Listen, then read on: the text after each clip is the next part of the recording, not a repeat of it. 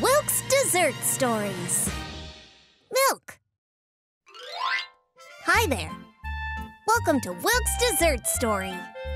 Believe it or not, today's story is all about me, milk.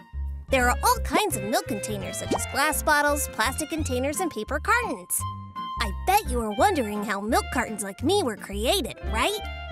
So today, we're going to learn about the history of the milk carton.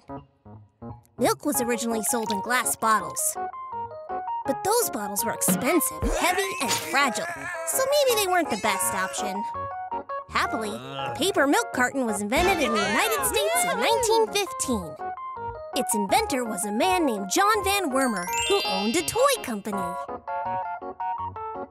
One morning, Wormer left the house in a big hurry because he was late for work. Honey, wait. You can't start the day without your breakfast milk. Oh, thank you, Muffin. Oh.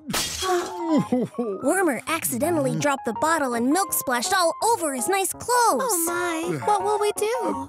I'm already late. I should just go. Oh, do you smell Is that? that milk on him? Mommy, look! It's a milking cow! Hush now, dear. Hmm. I call this meeting to order. Hmm, I smell something rotten in here. I can hardly breathe.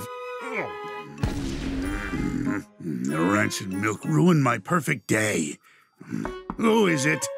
Sir, I need your signature on these papers. Just leave them and go. Hmm? Yes, I've got it. Wormer got a brilliant idea after seeing those paper documents. He decided to create a new container for milk. Uh, it's finally complete. My masterpiece. Wormer invented and patented the milk carton. And incredibly, milk cartons became popular all over the world. Thanks to Wormer, all of us can enjoy drinking milk from a light, inexpensive, and safe container. What do you think? Isn't the story of how milk cartons came to be fun and interesting? Maybe the next time you encounter a problem, you'll think of a fun way to solve it just like Wormer did. Well, that's all for today's dessert story. See you next time.